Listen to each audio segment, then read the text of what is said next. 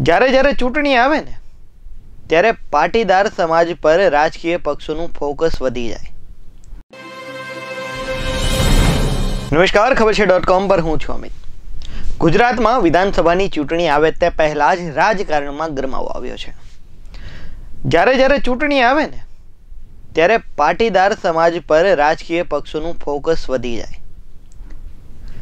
અને આવું જ ફરીથી શરૂ થયું છે.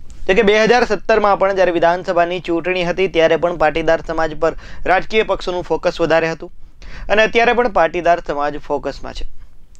તો કે ભારતીય જનતા પાર્ટીએ પાટીદાર સમાજમાંથી આવતા ભૂપેન્દ્ર પટેલને મુખ્યમંત્રી બનાવ્યા છે. અને હજી પાટીદાર સમાજને મનાવવાના પ્રયાસો શરૂ હોય તેવું લાગી રહ્યું છે. આ કહેવાનું કારણ એવું છે કે રાજકીય પક્ષોની અવર જવર હવે ખોડલધામમાં વધી છે.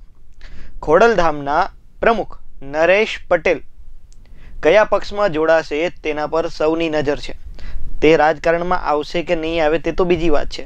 પરંતુ હવે રાજકીય પક્ષોના આગેવાનોની દોડાદોડી વધતા એક ચર્ચાનો વિષય છે કે નરેશ પટેલ કોંગ્રેસમાં જશે કે ભાજપમાં? કારણ કે થોડા દિવસ પહેલાં જ સી આર પાટીલ દ્વારા બંધ બારણે નરેશ પટેલ સાથે એક બેઠક યોજવામાં આવી હતી.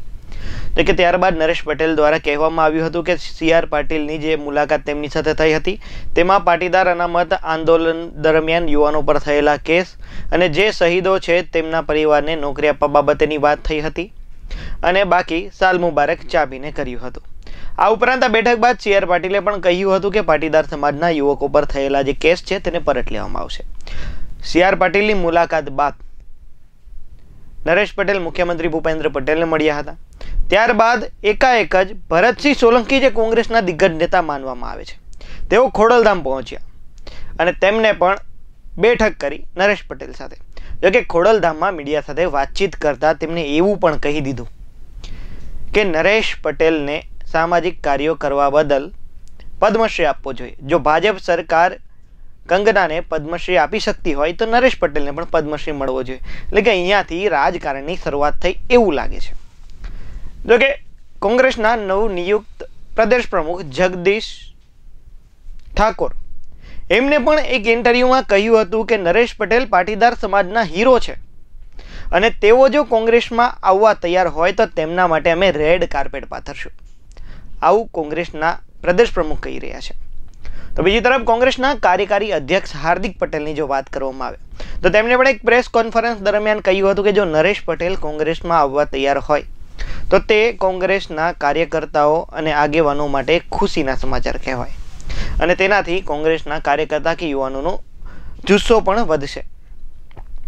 એવી પણ ચર્ચા ચાલી છે કે નરેશ પટેલની બેઠક કોંગ્રેસના આગેવાનો સાથે, એટલે કે દિગ્ગજ નેતાઓ સાથે થઈ છે ત્યારે આ બાબતે હાર્દિક પટેલે કહ્યું કે ભાઈ, કોઈ પણ સામાજિક વ્યક્તિ હોય, સારું કામ કરતા હોય તે વ્યક્તિ કોઈ પણ વ્યક્તિને મળી શકે છે. થોડા દિવસ પહેલાં નરેશ પટેલ, સી આર પાટીલને મળ્યા હતા. મુખ્યમંત્રી ભૂપેન્દ્ર પટેલને મળ્યા હતા. તે જ રીતે તેઓ રાહુલ ગાંધીને પણ મળી શકે છે અને રાજસ્થાનના મુખ્યમંત્રી અશોક ગેહલોતની પણ મુલાકાત કરી શકે છે. પરંતુ આ તમામ વચ્ચે સવાલ એ થાય કે શું હજી પણ રાજકીય પક્ષોને એવું લાગે છે કે પાટીદાર સમાજ તેમનાથી રીસાણો છે? તો બીજી તરફ આજે નરેશ પટેલ પાટીદાર સમાજના આંદોલન દરમિયાન જે યુવાનો ઉપર કેસ થયા હતા અને શહીદ પરિવારની નોકરીના જે પ્રશ્નો હતા તે બાબતે મુખ્યમંત્રી સાથે બેઠક કરવા પહોંચ્યા છે. જો કે આ બેઠકમાં ખોડલધામ અને ઊંઝા ઉમિયાધામના આગેવાનો પણ હાજર છે. પાસ સમિતિના મેમ્બરો પણ હાજર છે. જો કે નરેશ પટેલે એક ઇન્ટરવ્યૂ દરમિયાન એવું પણ કહ્યું કે પૂર્વ સરકાર એટલે કે રૂપાણી સરકારમાં તેમને ચાર વખત આ બાબતે રજૂઆત કરી અને નવી સરકારમાં તેમને એક વખત સી આર પાટીલને રજૂઆત કરી, એક વખત મુખ્યમંત્રી ભૂપેન્દ્ર પટેલને રજૂઆત કરી અને હવે બીજી વખત તેઓ સીએમને મળવા રજૂઆત કરવા માટે આવ્યા છે. તેમણે એવું પણ કહ્યું કે આ માટે સરકારને એટલે કે કેસ પરત ખેંચવાની પ્રક્રિયા માટે સરકારને ત્રણ મહિનાનો સમય આપવો જોઈએ. જે પ્રક્રિયા છે તે બાબતે. આ ઉપરાંત તેમણે એવું પણ કહ્યું કે હવે તેમને વિશ્વાસ છે કે નવી સરકાર તેમની આ જે પ્રશ્નો છે તેને પૂરા કરશે અને આંદોલનકારીઓ પરથી કેસ પરત ખેંચવામાં આવશે અને તેમના પરિવારને નોકરી મળશે. પરંતુ આ બેઠક બાદ જ સ્પષ્ટ થઈ શકશે.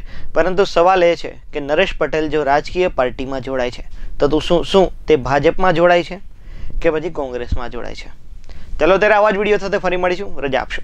નમસ્કાર.